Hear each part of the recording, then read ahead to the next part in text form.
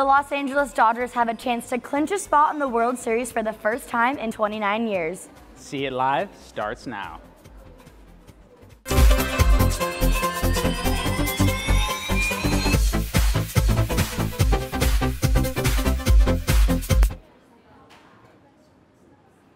Game 5 of the NLCS is underway at Wrigley Field in Chicago.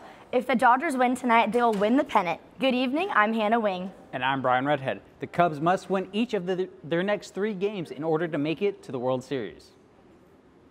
Let's take a look at the score. The Dodgers have taken an early 3-0 lead after a pair of doubles by Cody Bellinger and Chris Taylor and a home run by Kike Hernandez.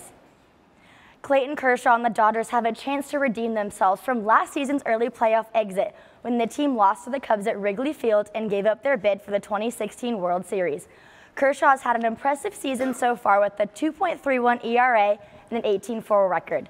But the three-time Cy Young Award winner has struggled late in the postseason games with a career postseason ERA of 5.68. Cubs starting pitcher Jose Quintana struggled somewhat this year with an ERA over 4, but has had strong showings this postseason game against both the Dodgers and the Nationals. See It Live reporter Savannah Sinfield is live at the 901 Bar and Grill to watch the game with fans. Let's see what the atmosphere is like over there right now. Savannah? And Hannah. Right now, we're here at the 901 Bar and Grill, where baseball fans are here to watch the Dodgers play the Cubs in the fifth game of the National League Championship Series. This is a huge game for the Dodgers. Right now, they're up by three runs, and if they win this game, they'll be joining whoever wins the Yankees versus Astros game that's happening tomorrow in the American League. The last time the Dodgers won a World Series was in 1988 against the Oakland Athletics. It's a really big game, a lot of excitement here, mostly Dodger fans, given that we are in LA so we'll keep you guys posted.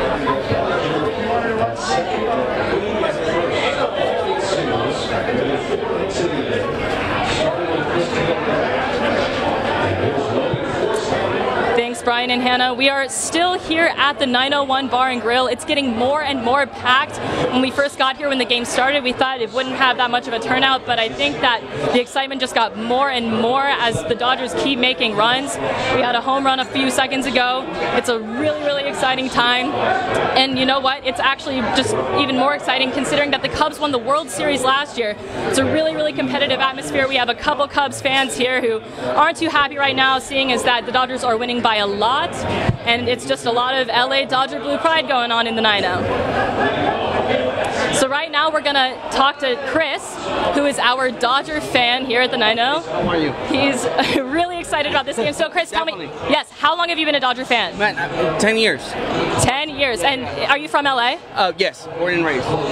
Why are you such a Dodger fan? Uh, for the simple fact that um, it's from the community, and um, I'm not. First of all, I'm a soccer fan, but I, they grew on to me and everything like that, so I, I love Dodgers. That's amazing. And how much would you be willing to pay for a World Series ticket if they make it? If they make it, it'll be so awesome if it was against the Yankees because it's so awesome. A thousand dollars. A thousand dollars. And so, do you think that the Yankees are going to win tomorrow? I hope so. It'll be an awesome match. Are you a fan of the Yankees or not so much? Not really. Not at all. Great. It's all the west side.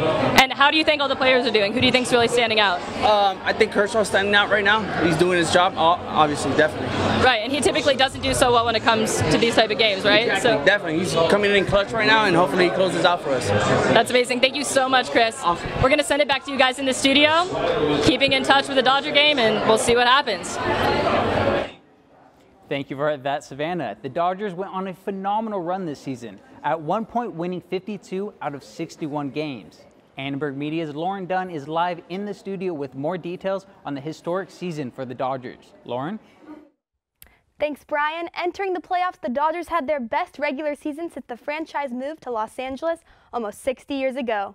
They won the NL West by 11 games. The Dodgers finished with 104 wins, good enough for the best record in all of baseball.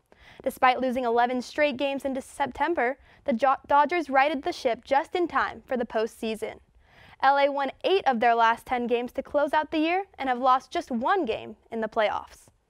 The Dodgers have the highest payroll in all of the MLB, yet unsung and underpaid players have proven to be the most instrumental in the team's success. All-around utility player Chris Taylor and catcher Austin Barnes both recorded career years. But the real surprise was Cody Bellinger. He's making a strong case for a unanimous Rookie of the Year award, with 39 home runs, breaking the Dodgers' rookie home run record. The three combined for less than 1% of the team's salary. The Dodgers' deep lineup is joined by a bullpen that gave up the second fewest runs in the MLB. Clayton Kershaw garners most of the headlines, but it's the relief pitchers that have carried this team through the playoffs.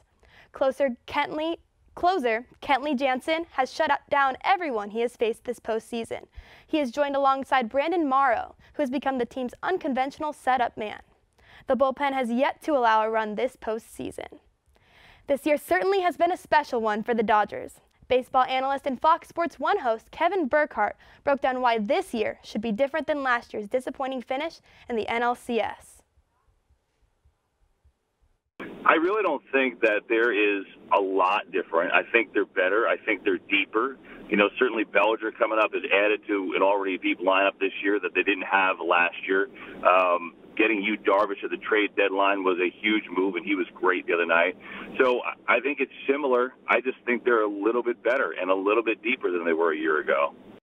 The Dodgers used that depth all year long to take the National League West by storm for the fifth time in a row. They're looking to reach their first World Series since 1988. Cody Bellinger went from being one of the best baseball players in Arizona to a household name across the country. I spoke with his best friend Cole Tucker about what it's like knowing the MLB All-Star. We became best friends in high school, and uh, it's just been really cool to see uh, how he went from this little dorky, goofy, skinny kid that played first base to being a home run derby, all-star, rookie of the year type big leaguer. It's, it's unbelievable. He texted us the morning of, I think it was like April 26th or something, and he's like, all right, guys, this has to stay here. I'm not allowed to tell anybody, but he told us. Uh, I'm on my way to San Francisco right now. Like, I'm getting called up. Like, I don't tell anybody. So I read that text. I told everyone in my locker room, which I shouldn't have done, uh, just because I was freaking out. I was excited. I called him immediately. I was like, dude, are, are you messing with us? Like, is this a joke? Um, and he's like, no, dude, like I'm I'm in the hotel right now. And then we FaceTime, and he showed me San Francisco out of his hotel room. It was unbelievable. Um, I I was literally jumping up and down. It was it was so cool. You could just tell how proud of himself he was. I I always thought that he'd get drafted and go on to pro ball, play in the big leagues, but I didn't think that he would ever be Cody Bellinger. Like this has been this has been amazing. Cole watched Cody play against the Diamondbacks earlier this month and is now hoping to watch him in the World Series. Fans are showing their support for the Dodgers across social media. Hashtag this team is currently trending on Twitter. Celebrities including Rob Lowe are tweeting it's time at the Dodgers. It's basically saying let's sweep the Cubs. We have Mario Lopez tweeting let's go at Dodgers once again showing his support for the team. And we also have the Twitter of the Los Angeles Dodgers official account promoting support for their team as well. The account is highlighting individual players in this series of tweets. Minor league Dodger players for minor league for the Dodgers, Jeff Paschke says the team is grateful for the support. Usually teams that go far into playoffs like have some kind of saying and and it really builds like the whole all of LA and all their fans really get behind it. You probably see shirts and hats and all kinds of stuff with hashtag this team on it, and uh, I think it's really good for the organization. Fans are already tweeting about the game, voicing their hope that the Dodgers will continue their successful season with a win tonight.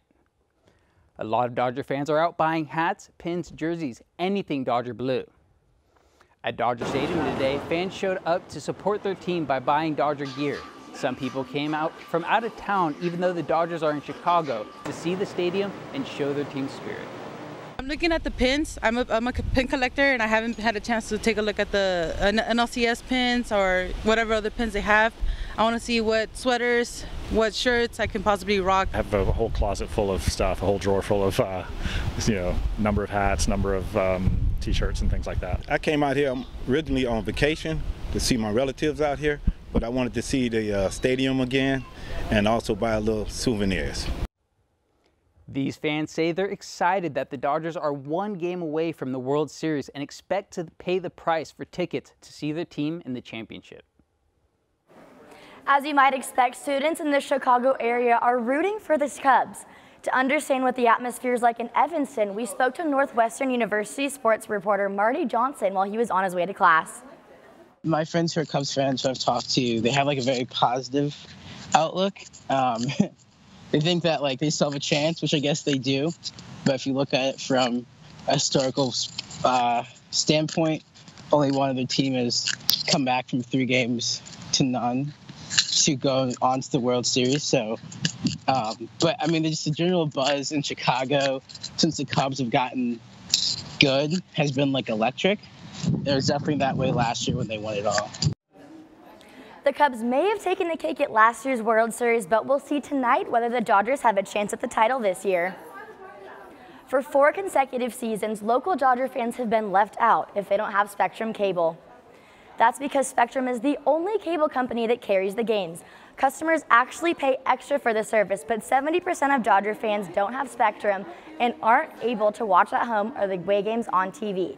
We spoke to USC students about how they're finding creative ways to watch the game. Parents have been Dodger fans as long as I can remember. They've never been to games, however, though they just watch them on TV. Like me, what I like to do is keep uh, um, keep myself updated on my phone through an app, or you know, when I'm on. I know it's horrible to say, but in class, like I have it on the side on my computer. Uh, I used to watch them on TV, um, but now here at USC, I don't have a TV, so I usually just stream online. USC's cable provider also doesn't provide the channel, but that won't come between loyal fans and a historical season. Ryan? The Dodgers tried to bring home the pennant tonight in Chicago. The New York Yankees are in the middle of a comeback run for the ALCS. If both teams win, we could see another cha cha chapter in one of baseball's biggest rivalries. The Mickey Yankees Mantle first steps met in. the Dodgers for the World Series in 1941 in a subway series between Brooklyn and the Bronx. That repeated itself six more times between 1941 and 1956. The rivalry followed the Dodgers from Ebbets Field to Los Angeles, where the Dodgers started another four World Series by meeting by series meetings by sweeping the Yankees 4-0 and chalked up two more World Series titles. In their 11 meetings, the Yankees have won eight series and the Dodgers have won three. The last time the teams met in the World Series was in 1981, when the Dodgers won four games to two. We talked to some fans to see what a Yankees Dodgers World Series means to them. Yankee Stadium just goes crazy when they're in the playoffs, so it would be huge for me. I'd probably fly back to New York at some point to go see a game if they're in that, and just the New York LA market itself and the rivalry would be great. For me, it'd mean a lot. One, because with like going to New York and seeing the new Yankee Stadium would be amazing. We only have three wins, so it'd be nice to get some revenge on them and also beat all because they all think they're winning it. For Dodger fans, the Yankees aren't the only thing that make a World Series memorable. And on Sunday, fans might have felt a little deja vu for the Dodgers' last championship title. Dodgers infielder Justin Turner hit one out of the park in the bottom of the ninth inning to bring home game two for the Dodgers. Turner's run was reminiscent of a play that happened exactly 29 years ago to the date. In game one of the 1988 World Series, Kirk Gibson hit a walk-off home run against the Oakland A's. Let's take a look. High fly ball into right field. She is gone. And Turner in the air to center field. That ball's hit well. Martinez on the run. This is way back, and it is gone. Center was the first walk-off win in the postseason since Gibson's home run, almost three decades later. Let's take one last look at the score. Heading into the bottom of the third inning, the Dodgers have taken a commanding 7-0 lead after Kike Hernandez slapped a grand slam to right. It's the second home run of the night. Thanks for watching See It Live from everyone here at Annenberg Media. I'm Brian Redhead. And I'm Hannah Wing. You can watch us on the web at uscannenbergmedia.com. Good night.